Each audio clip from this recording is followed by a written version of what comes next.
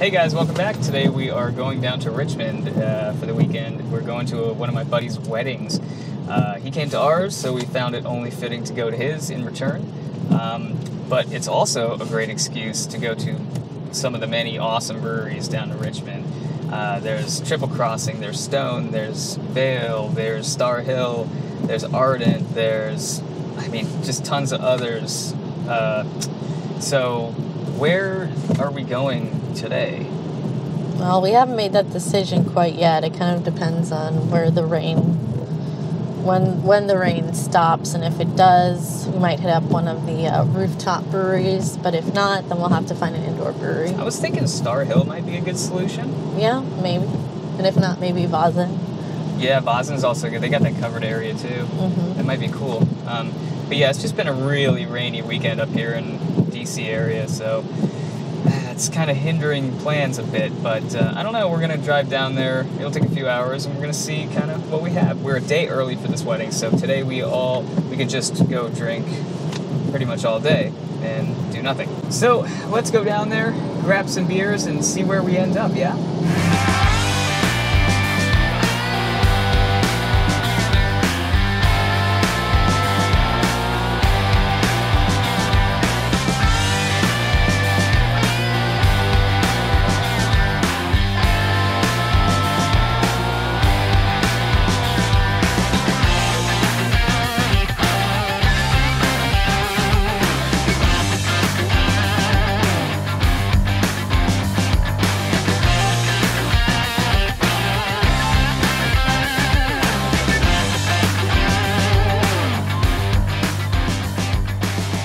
All right, we finally made it to Starr Hill and got us some beers. I got the Grateful here. I got the uh, Sonic Haze. Oh, the new Sonic Haze. yeah, Nice. it's pretty good. Yeah, I've been hearing about the Sonic Haze, but we just don't see it in our area, so Well, hard to find. that's why I took advantage, and Mm. they have these cute little half pours. I like and this. These cute little glasses. And to be honest, after that journey and my nap, I can't do more than a half pour right now. I'm just gonna fall asleep again. So it's interesting to see the build out of this place because last time we were here, we were at other breweries, but we stopped by and saw kind of like some of the progress that they were doing when they were mm-hmm. building this place, and it looked like it was gonna be really cool. But at the time, just wasn't done yet. So now it's all finished, and it's it's pretty cool. Yeah. They got this like outdoor area on the on the main floor behind us here. But then they also have like an outdoor area up top, like a rooftop bar, which is really nice. Bathrooms upstairs, Yeah. lots of plants. Yeah, some like lighting up there, like hanging lights. It looks really neat. Probably at night it's gonna look like great. Yeah, it probably looks gorgeous at night. I would love to come here for a beer at night. Starr Hill comes from a long lineage of, I mean, they- were incepted, the, the brewery was formulated in uh, a music venue back in the Oh, day. So- was that a music venue? I didn't realize that. Well, well, yeah. I mean, like they, the the idea was in, was instantiated inside a music venue. And, Oh, okay. You know, the owners were talking about, hey, we should have we should form a brewery, and that was how it got started. And Starr Hill's always been about the music, like hosting live music, shows, events with music, any, anything music based. You know, is, is is what they're all about. So a lot of their beers are, you know, kind of harkening back to song names or famous bands. Grateful. I mean, that's probably kind of like a Grateful Dead Dead, thing. yeah. You know, the Okay. Roxanne Sour is like, you know, the police. Yeah, There's got you know, it. The whole sour pack actually is all famous women in music. So hmm, That's pretty neat. I awesome. just I just put two and two together. I was wondering why I did see a lot of like band related names and kind of icons yeah, in their marketing that's exactly it. and their branding. So the Grateful Man, very light drinking beer, four under five percent, 4.7, 4.8. It's getting increasingly hard to find this though in my area. I don't know why, but I can't find this in the stores very often. So I thought I had to take advantage. It's got this really like nice florally hoppy note to it. It's very bitter, but it's got this like sort of floral forwardness that I really like out of it. Um, very balanced. Um, yeah, I, I just I just really think it's a great uh, sort of standard issue go-to IPA. So I, you know, I'm, I'm super into it. I've always been. It's technically a pale ale, I guess. Yeah. But like they list it under IPAs, so I don't know. Like, I think it's more of an IPA than anything else. Yeah, definitely. To be honest. It's like a session. I feel like it's more It's of like a session, session IPA. It's like a session West Coast IPA. yeah, That's kind of what it is. How's yours turning out? It's good. I mean, it reminds me of um, just was it the Looking Glass IPA that Mhm. they had, and um, you know, it's not. I guess I was thinking this was going to be more like the Ramble On, Right. um, but it's not. The Ramble On is super dense and hazy. Like, Right. It's really that's your dad's and when you say and when it's called Sonic Haze, I don't know. I was just thinking it was going to it be was gonna be way more hazy than that. It's not hazy at all. I mean, it's it's pretty. It's pretty clear. I mean, mine's pretty clear, but It's a little- close. It's a yeah. You don't get a lot of fruit notes in there. You get more of it. Oh yeah, it's a little bit like sweet, but Yeah, I don't know. I don't know. It's been one of my favorite breweries for a long time, and they're Virginia's second oldest craft brewery, so that's pretty Nice. cool. Sh- only short of um, Port City, Port City's the oldest. the oldest, Oh, the oldest commercial craft brewery in Virginia. Uh, and Starr Hill is second, and I think they formed in 1996, 97, something, Something close to that, that. So, yeah, they're pretty they're pretty ancient, but uh, they're still cranking out like desirable beers. They got the whole sour line, they got the you know a vast IPA line, Right. New England and West Coast, and they have awesome place. They have Lynchburg, awesome place. They have Roanoke. Roanoke, awesome place. They have um, Here, Here. Richmond. yeah. and then Crozet, their Crozet, original, flagship original location. The original location's pretty small Yeah. compared to this. I'm gonna say. Yeah. Well, it's I mean- always been really small, and it's in this weird like cut, cut through, like right next to like some old train tracks that are no longer uh, in use. But it's it's an Bizarre. odd location. Well, there's also nothing around it other than like a pizza place. Well, there, so there are like homes, but Right. like There's you no, don't know where they are. right. They're like out. there's the- nothing it's to like do around it. No. So you might as well just go drink. Cool, man. Starr Hill. Awesome. Let's do it.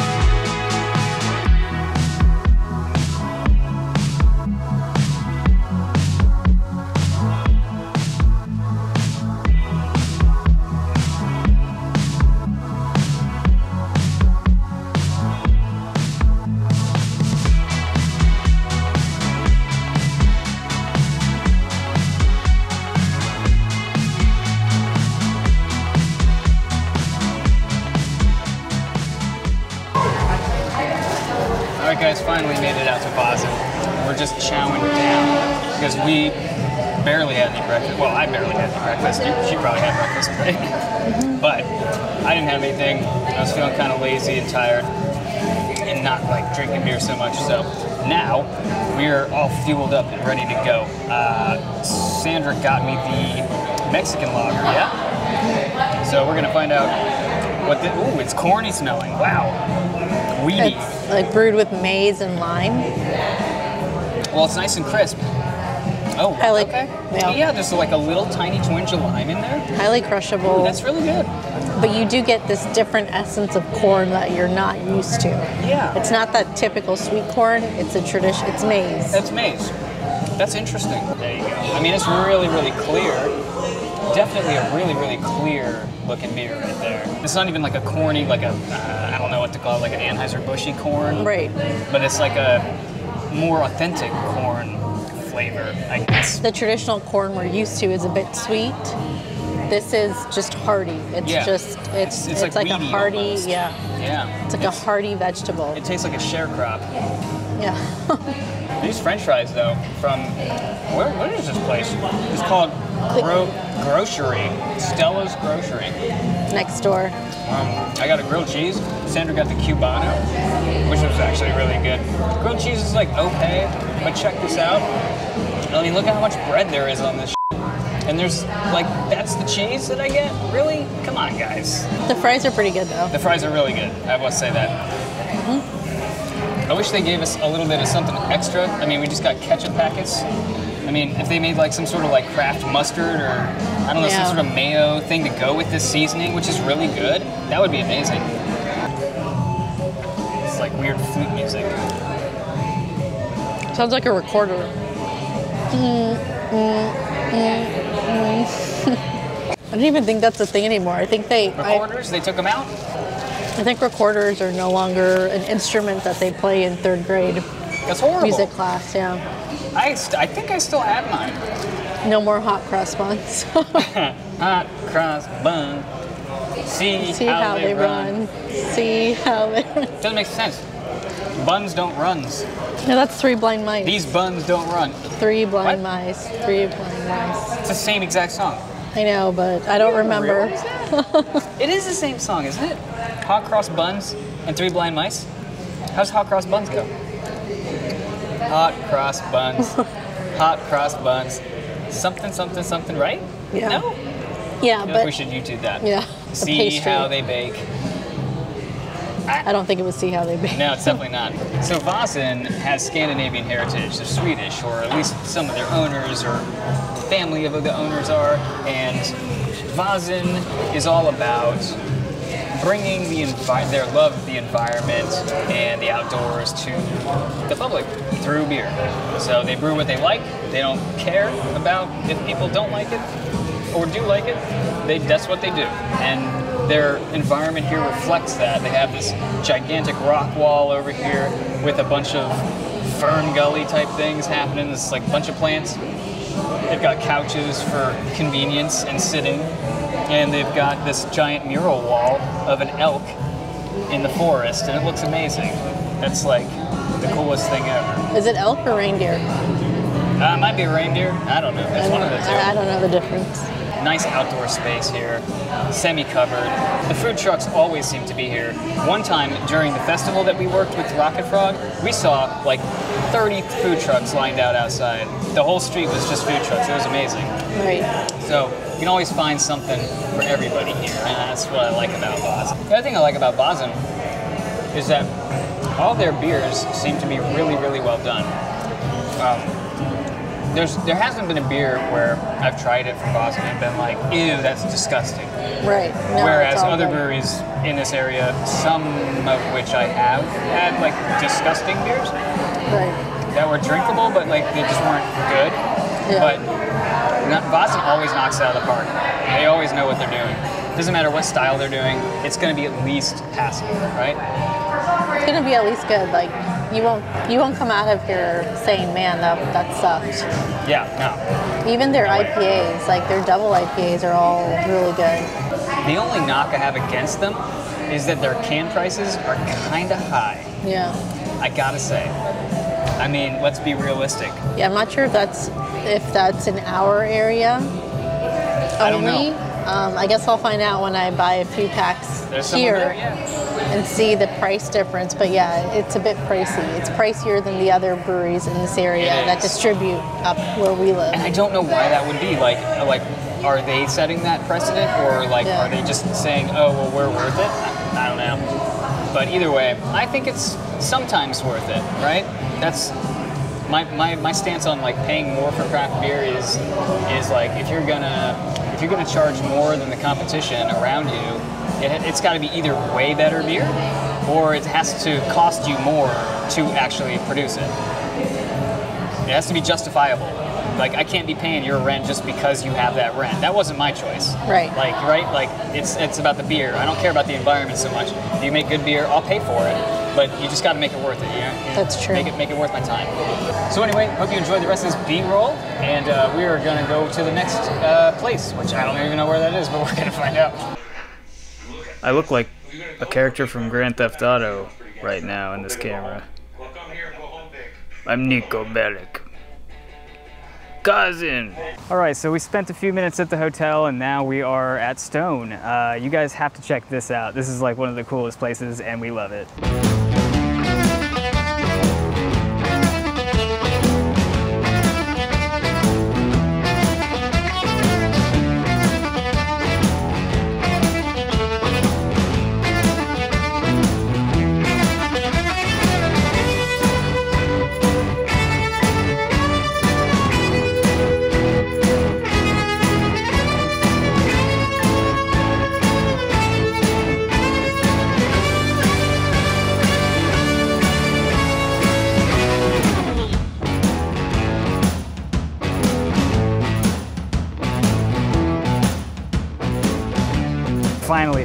Made it inside Stone. It's been a long time since we've been here. Um, I'm just going to start right off the bat with the uh, Never Ending Haze. This beer, um, I mean, it's supposed to be a haze bomb, I guess, but uh, it's it's definitely pretty clear. For a beer brewed with like oats and stuff, you'd expect it to have a little bit more body. The taste is really good though. I mean, it has like this kind of orange peel thing that then like transgresses into mostly pineapple and then like a, a heavy citra sort of backbone. Uh, it's it's like piney and resinous. Um, it's really good.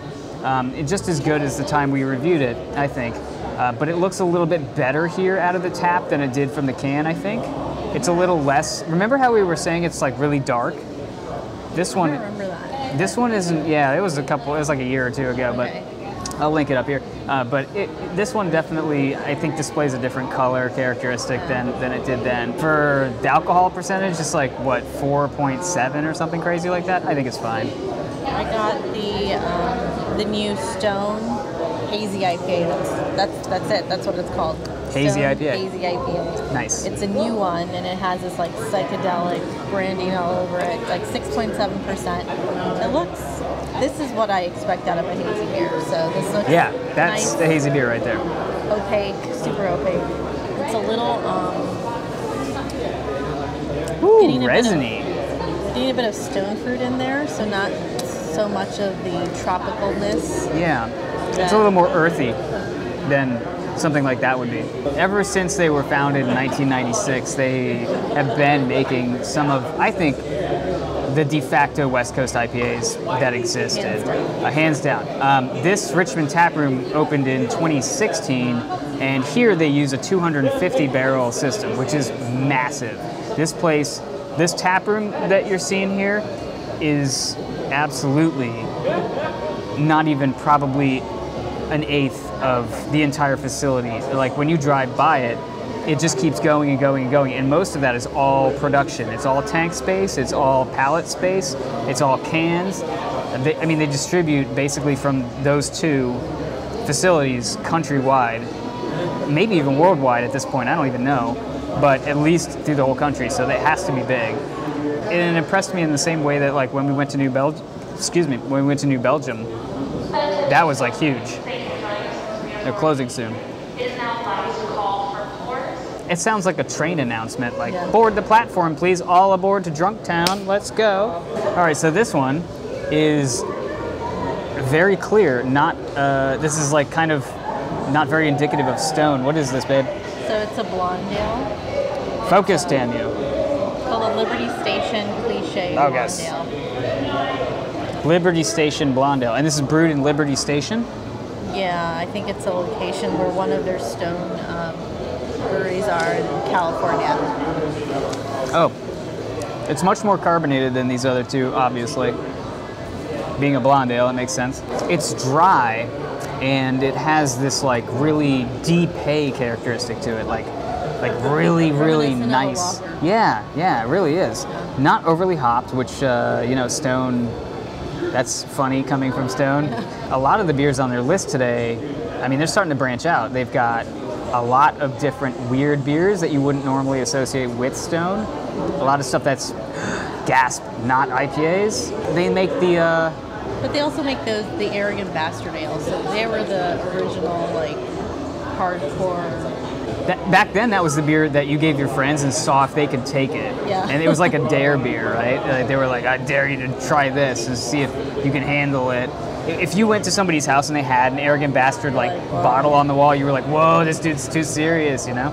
And this is before like craft beer was as popular as it is now. So it's Back in the day. back in we're talking Back like early '90s. no matter what you say about them, um, you know, it's that consistency and We'll always have that dedication to that great West Coast beer. I mean, they're unmatched in America anyway. Like that's Stone is like one of the de facto IPA. Like that's that's what an American IPA is. It's a Stone beer. So Sandra decided to go grab another beer. So what is this one? the Vengeful Spirit. Vengeful Spirit. Sounds like a Halloween beer. It's uh, s- loaded with pineapple. But it still has a lot of that resinous character. It does have like that residual sweetness kind of thing happening. Um, but it's really resinous. Like that is so earthy and dense tasting. Dank. Danky, yeah, really danky. danky. I'm getting a lot of orange out of that one though. Like really heavily orange rindy. So it's actually tangerine and pineapple. Okay. That's what they used. But Yeah, I'm I can getting see a that. lot of. I think that sweetness really comes out with that. Uh, pineapple in general is just like a, a really sweet kind of fruit, and it Yeah. lends to a lot of sweetness in general. And I'm getting a lot of that in this beer. It's a quintessential stone beer. That's what you expect out of a stone beer. Yeah. Lots of resin, lots of pine notes, but then they're mixing in tons of tropical fruit notes in here. Yeah. And I like the combination of the two. This is like a solid kick you in your pants, but like you know you're drinking a beer. Right. Whereas the Never Ending Haze is kind of like you're drinking a beer, but it's more of like a, a tubing beer, like an, like when you're in an inner tube down going Yeah. down the lazy river. That's the type of beer that is. So that actually reminds me now that we're here is that there was some kind of um, I don't know if it was necessarily political, but there was an outcry from Stone not too long ago. I think a few months ago, where all of their cans, the the labels on the cans or the branding was all flipped upside down, and it was and it Oh, was a yeah. whole. They had this whole statement I feel like I remember that. why they were doing this. I never really read read into it, and I don't really know what is going on. But if anybody else does, it'd be know. great to know what exactly they're trying to do. They did it for a few months, where every can you would see was upside down, and people were like, "What's going on?" And then it was. Uh, I really, I think it's almost like there is some kind of. I think it was like a some kind of an outcry, like towards something. Okay. Huh. Well, yeah, if anybody knows, let us know. That's really weird and interesting. They grew so fast. If you look at their website, you can see they have this like whole timeline on their website of like how many employees they had at each year. And by year three, they had like like quadrupled their num- the number of their employees, which at that point was like 40 people. They were paying 40 people like in, in year two or three. It's cra- It's like insane. They're a very successful brewery. Anyways, I think we've we've lingered too long. We're sorry, but we're getting kind of toasted, and uh, we got this wedding to go to tomorrow. So I don't know. We're gonna see what happens there. We might be able to hit a couple breweries before then. I think we we're gonna try to go to Triple Crossing because they have pizzas, and we're gonna try to do that for lunch. Uh, I don't know if we're gonna get dressed up for that. I feel like that would be fun to get dressed up for, to go to a brewery. But maybe after the wedding, we'll definitely hit up a brewery if we have time, and, uh, and do that. That'd be fun. All right, cool. Well, till later. We'll see ya. Anything else to say about Stone? No. No. Great. Well, enjoy the rest of the B-roll, and uh, yeah, we'll catch up later.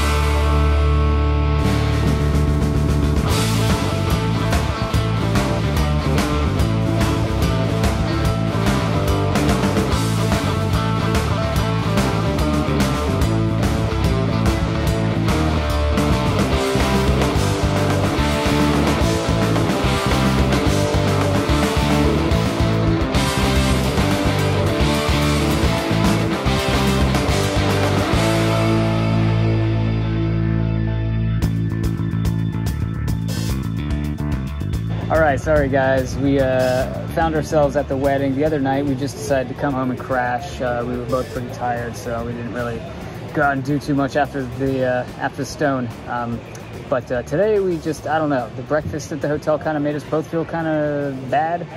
Um, so we just took the day until the wedding and did nothing. Basically, just sat in the hotel room all day and took naps and stuff and watched TV. Now, uh, we didn't bring a camera to the wedding, so you're gonna have to deal with the iPhone quality. So apologies about that. Hopefully, you can hear what we're saying and see everything. We ended up at Triple Crossing after the wedding, though. Um, so I have the Call It Dreaming. Uh, this is a Citra and Sabro, I think. I don't want to get that mixed up, but I think it's Sabro. Either way, it's just got this like nice light body, four and a half percent. It's very fruit forward uh, beer, but it has that nice Citra sort of punch to the bitterness, but it still remains soft. I know that's that's all contradictory to what each Yes. thing I just said. Yeah. But it's it's soft, but it has a firm bitterness and uh, very fruit forward. I, I taste a lot of melon in this one, akin to an equilibrium beer, actually. Oh, Yeah, okay. I have uh, the North Park. It's a pale ale, five percent. This is on the more resinous side of things. Uh, That's almost to me that almost tastes like a West Coast yeah, pale ale like or something Coast- like that. Yeah. it's piney. It has tons of resin. It's a little danky. Um, it's crazy that this is only a five percent beer. This does not taste like It's- a five percent beer. The thing about this one that I noticed right away when you when I tried it is that it's very clean. Like the yeast they use Very just clean. drops right out. It's like super super clean. It Um, lingers a bit in the back of your throat and your tongue, which is what you normally get out of West Coast style IPAs. Mm. Um, but this is a pale ale. It's really good. Like it's funny to see, and we said the same thing at Stone the other day. Like it's funny to see Triple Crossing doing cleaner styles, Mm-hmm. right? Like that's not something we associate Triple Crossing with. It's usually these hazy boys, um, bigger IPAs. Falcon Smash specifically is Yeah. like our favorite, you know, Triple Crossing beer ever. But now we have choices of pilsners and lagers and things like that. So. Uh, commendable. Yeah. I mean, I think a lot of breweries are looking at the summer months and saying we need to start making stuff that people can drink in 90 degree weather. And uh, yeah, we're finding it pretty much everywhere, and that's pretty cool. I even saw an English bitter on their menu. Yeah. Where where do you find an English bitter here? I don't know. On draft. I feel like we gotta try that it doesn't though. come from the UK. Yeah, I think we might have to we try. should we should do that. Yeah, our pizza is about to come out, so we're gonna uh, stop the video real fast. But once we get the English bitter, we'll be right back. So we got some killer food here. I don't know if y'all know this, but Triple Crossing produces some amazing pizzas, and they have pretzels, which they make I think on site. I'm, If I'm not mistaken, like they they're super good. Um, yeah, so we got some more beers here. We got the English Bitter, which uh, English bitters are a very sessionable malt-driven style, um, harkening back from the cask. You know, they're, they're associated with cask style ales. Right. Um, they're, you know, very sessionable. Like I said, uh, it can range anywhere from golden color to very kind of dark amber. This one is very, very golden, uh, pretty translucent. Yeah, it looks like a Boddington's. Yeah, it really does look like a Boddington's. Good old pub or a Tetley's. Good old Tetley's. This one's on nitro, so That's the best way to have those. yeah, we're gonna see. It smells amazing. When you get that foam on top of your lips, that's when you know. Oh, that's brilliant. That's really good. Yeah, that reminds me. It's uh, slightly bitter, just big bold malt notes, um, while still remaining like light and body. Um, That reminds me of a Boddington. it really, yeah, I was gonna say Not as sweet, though, It tastes but- a lot like a Boddington's. Um, yeah, there's some. Well, th- there's this coppery penniness to Right. the Boddingtons that I don't get out of this beer. Could be because this is on draft and we've never had Boddingtons on draft, always True. in cans, because you just can't get it in this country Right. without you know getting it in a can. So maybe that's it. Um, but yeah, no, this is this is actually like really really enjoyable beer, um, and they have to be because like you were mentioning earlier, what are they doing in London every all day? I mean, they drink. It doesn't matter what time of day They watch soccer and they drink.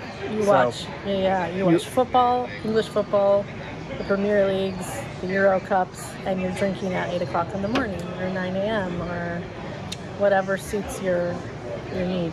so, and that need requires a three percent beer. So, Yeah. pretty much. But yeah, a little watery, but that's totally to be expected. Very much uh, within style. What'd you What'd you uh, end so up with? I got the Triangles um, 2021 version. I, I've never had this beer. It's a double IPA. It's I think it's been around for. Um, I read something about seven years. Like I think this is their seventh, or this is their seventh generation of the Triangle Wow. series. Um, I didn't read the hops. Well, it used. I know it used to be a triple IPA at one point, and then they kind of dialed it back over the To a years double. to a double. Um, with which, yeah, a triple IPA isn't really a style that exists. Triple IPAs are just big double IPAs. And so this is I, that's you know whatever. this is just a quintessential like awesome double IPA from Triple Crossing. I mean, this is Let me try. this is essential. Like Triple Crossing is known for their good seven percent beers, their regular IPAs, and then their double Mm, IPAs, yeah. and that's just loads of tropical notes, a little sweet. Yeah, it's really Um, that's really like just dense. It's delicious. That's a good double IPA. That is good. a little bit more firm bitterness than I than I thought was going to happen there. But I think there's mosaic in there, but I'm not I'm not sure. eh, it tastes a little bit earthy. Might Yeah. be, maybe. Mhm. But anyway, we're going to continue drinking, and uh, we're going to probably just go back to the hotel after this. But uh, if we don't see you after this, then um, that is the end of the vlog. And uh, next time we'll actually bring the camera out, and we'll actually bring some microphones out, and we'll we'll do that whole thing. But it's good to know that it might look and sound True. okay. No. Maybe you let us know. I don't know. Let's see what the iPhones do, right? All right, guys. Well, until next time, cheers and stay crafty.